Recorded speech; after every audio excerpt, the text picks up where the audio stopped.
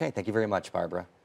Hundreds of people gathered on the Indiana University Bloomington campus Thursday evening to reflect on the events that occurred in Charlottesville, Virginia last weekend. It was just one of the many ways people in, in Indiana choose to speak out against white supremacy and hate. White supremacy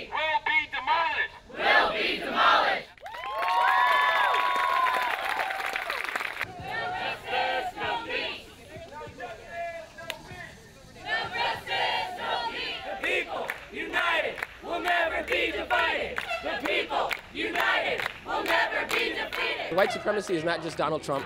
White supremacy is not just the people who showed up for the Unite the Right rally. White supremacy is laws that disadvantage people of color every day.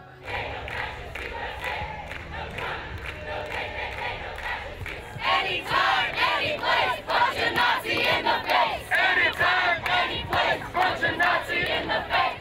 Silence emboldens the oppressor. White silence is violence.